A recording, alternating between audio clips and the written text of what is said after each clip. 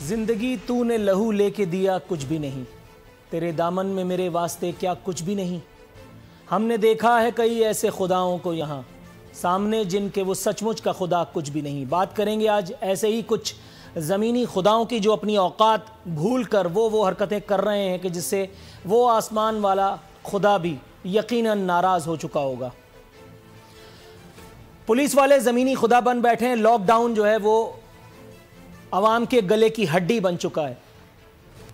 कराची आने से आने से पहले वजीराबाद ले चलते हैं।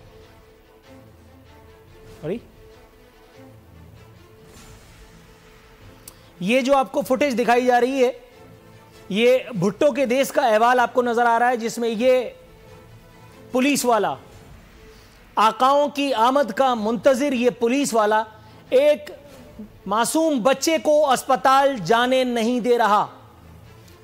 सेट पे आके बैठा हूँ तो मेरे हाथ में ये खबर थमाई गई है, जो ये बता रही है कि सीएम सिंध की आमद पर पुलिस की जानब से लॉकडाउन सख्त किया गया। यहाँ तक कि बीमार बच्चे और उसके इस वालिद को अस्पताल जाने की इजाज़त भी नहीं दी गई।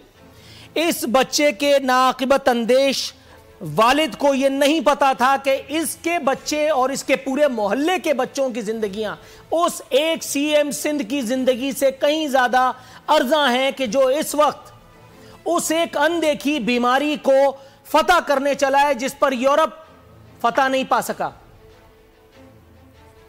मैं हुकूमत पाकिस्तान से मुख्तर तरीन इदारों से यह अपील करता हूँ कि आप इस एक नाकिबत अंदेश वालिद, इसके बच्चे, उसकी माँ, इन तीनों के खिलाफ ऐसी सख्त से सख्त कार्रवाई करें कि आइंदा इस मुल्क में कोई बीमार होने की कतई जुर्रत ना करे। इन लोगों की इतनी हिम्मत हो गई कि वज़ीर आला सिंध के रास्ते में रुकावट बन करके खड़े हो गए। यही सब काम वज़ीर आला शहबाज शरीफ जब थे, उस वक्त भी हमने देखा। उस वक्त भी हमने देखा। वजरा आला तब्दील होते रहे मुख्तलिफ़ सूबों के, नई तब्दील हुई तो यह सूरत हाल वजीराबाद का अहवाल आपको बताऊँ यह था भुट्टो के देश लड़काना का अहवाल। वजीराबाद में पुलिस वाले इस हद तक संगदिली पर आमादा थे कि एक नौमौलूद बच्चे को जिसे ऑक्सीजन की अशद ज़रूरत थी।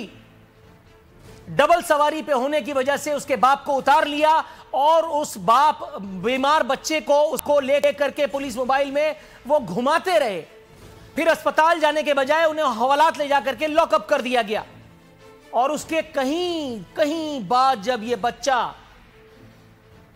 अस्पताल से मुँह देखना नसीब हुआ, तब तक इसराइल सलाम को परवाना मिल चुका था इस एक बच्चे की जान कब्ज करने का।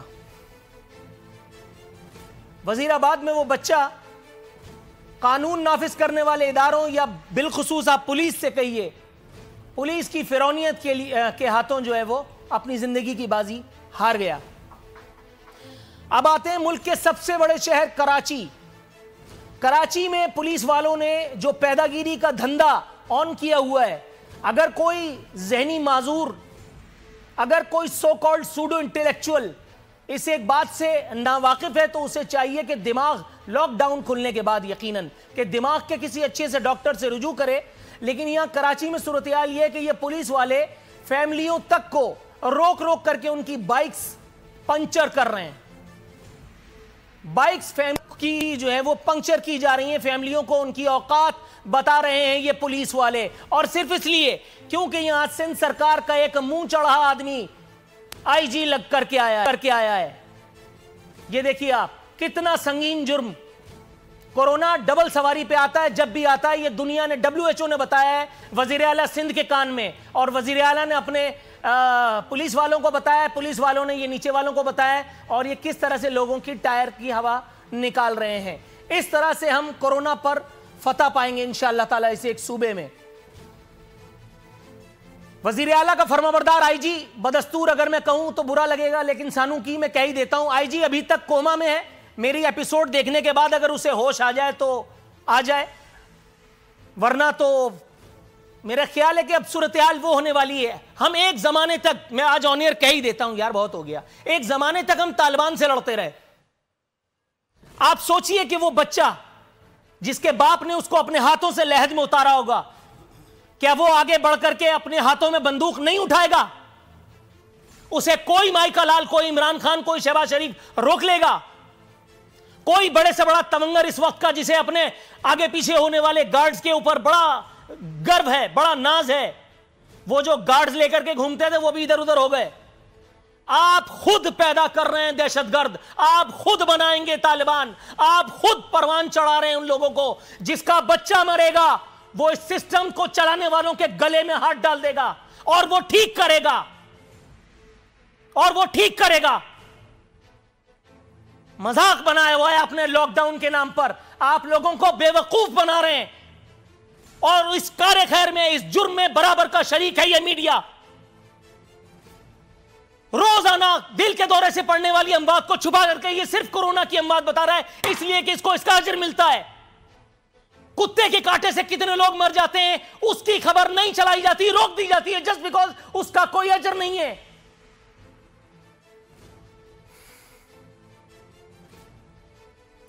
वज़ीर आज़म ने आँसू बहाए हैं, लेकिन वज़ीर आज़म और उनके आँसू। कह रहे हैं, मुझे पुलिस का तशद देख करके अफसोस हुआ। सर, आप ये कार्य खैर भी मत कीजिए। इसलिए कि आपके अफसोस से फ़र्क कुछ नहीं पड़ने वाला। आपके अफसोस से कख नहीं होना। आपने वहीं बनीगाला में रह करके अब मैं कुछ कहूँगा। वज़ीर अला जो है, वो अवाम की कीमत पर कोरोना से जंग लड़ने में मसरूफ है।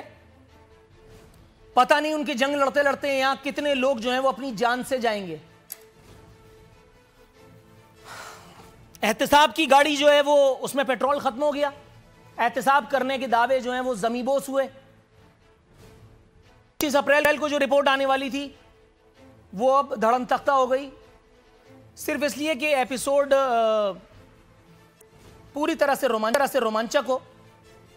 एक महीने का मजीद टाइम दूसरी तरफ़ भुट्टो के देश में एक और मासूम की जान चली गई। लड़काना के छह साल हसनैन के बाद अब छह साल जहीर भी आवारा कुत्तों की नज़र हो गया। यह है वो मासूम बच्चा जिसने अपनी जान को गंवा दिया। इसके माँ बाप की, इसके लवायकीन की वो पछाड़े जरा भी आप टेलीविज़न स्क्रीन पर मुलायजा कीजिए। और कल मेरे शो में अखूनजादा चट्टान साहब का वो जवाब अपने जहनों में लाइए और फिर मैं देखता हूँ आपका खून कैसे नहीं खोलता। कल जब मैंने ये बताया कि यहीं कराची के एक घर में दूध न मिलने के सबब, खाना न मिलने के सबब तीन बच्चे बिलक रहे थे। तो अखून ज़्यादा चट्टान साहब ने निहायत इतमान से पूरी बात सुनने के बाद कहा कि भूख से दुनिया में कोई नहीं मरता। भूख से नहीं मरता, इसलिए उसे कुत्ते के कांटे से हम मरवा देंगे। कोरोना से हम तुम्हें बचाएँगे, कुत्ते के कांटे से तुम खुद बचो। अजरा पेचू साहिबा का वो बयान अपने जहन में लाइए और फिर मैं देखता हूँ कि आपका खून आपकी रगों से कैसे नहीं बाहर आ जाता। जिसमें उन्होंने कहा था कि अपने बच्चों को कुत्तों को पत्थर मारने से रोकें। आप आसफा भुट्टो का वो ट्वीट अपने जहन में लाइए, जिसमें उन्होंने कुत्तों के मारे जाने पर कोहराम मचाया था।